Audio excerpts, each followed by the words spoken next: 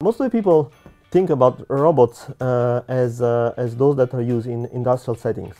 Uh, or they think about robots in, uh, in autonomous driving scenarios. Uh, so we're envisioning a, a, new generation of robots which uh, can work, can operate alongside humans.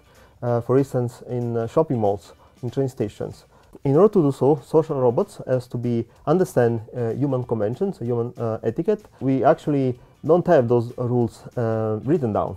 Our goal in this project is to actually learn uh, those rules automatically from observations by seeing, by observing how humans uh, behave in these kind of social spaces.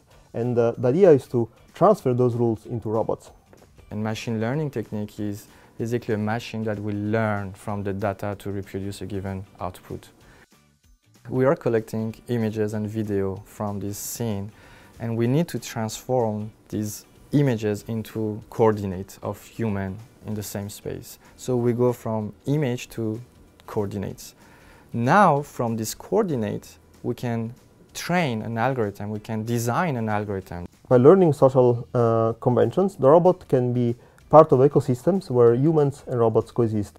We actually uh, envision the idea of having robots that can be uh, as uh, lovable and amicable as possible and, uh, and therefore they don't need to necessarily look like humans.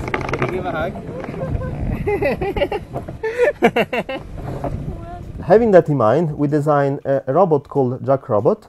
Instead of looking uh, like a humanoid, it's, uh, it looks more like a ball on wheels. Jackrabbot is coming from the animal, the jackrabbit animal that moves around very fast.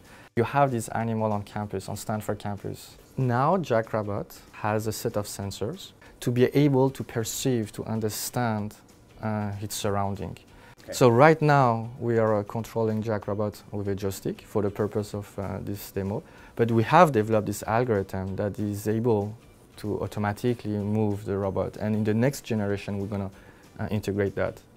So even if the current model is rather expensive, we believe that in an order of five, uh, six, seven years, we can, uh, it's possible to make these robots affordable. Uh, and enable uh, eventually companies to release those robots uh, to the mass market. And the cost will be something as cheap as 500 bucks.